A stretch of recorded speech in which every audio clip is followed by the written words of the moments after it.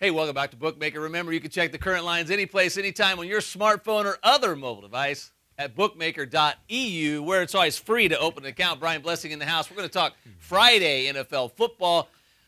We've got some movement towards the Lions and the over. Baltimore hosting Detroit, two and a half, 39 and a half. Let's talk some preseason football. I'm actually on board with the over uh, move on this game, Pat. I think, you know, you look at uh, Detroit, they lost to Cleveland 1917.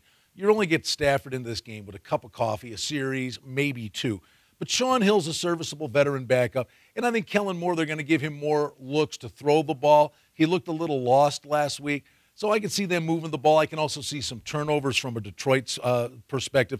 The other thing, defensively for Baltimore, Harbaugh has no concerns about his defense. But you know they lose Suggs in the offseason, but cornerback Smith rolls an ankle. He at all costs is going to be protecting his starters defensively. It's the strength of that Ravens team. It will be backups, backups, backups galore for Baltimore defensively. All right, quickly, this Lions defense last year, they had to outscore people to win.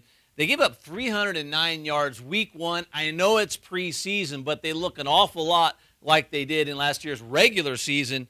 And Bryant, without insulting the Cleveland menagerie of quarterbacks, I mean Weeden, Lewis, Wallace, and McCoy aren't exactly uh, no, you know, big name slingers. No, and you know, from the Lions' perspective too, they're going to throw the ball because they got nothing at running back. You know, Jahvid Best sneezes, he gets hurt. Kevin Smith, they've got to protect. And Mikel Leshoure is going to be suspended the first couple of games, and he gets nicked up all the time.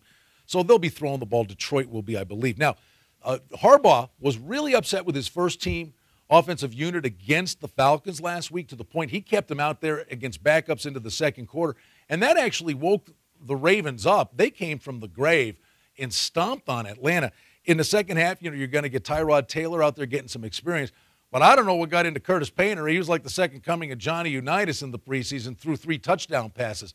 I think they'll be moving the ball through the air as well. All right, so no issues with the Baltimore defense, even though Matt Ryan pretty much moved the ball at will. They couldn't guard Julio Jones. Uh, it's preseason.